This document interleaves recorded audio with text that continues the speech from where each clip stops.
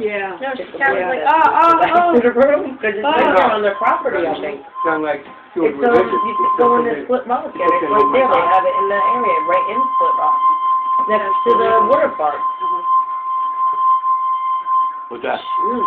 They got the wine festival.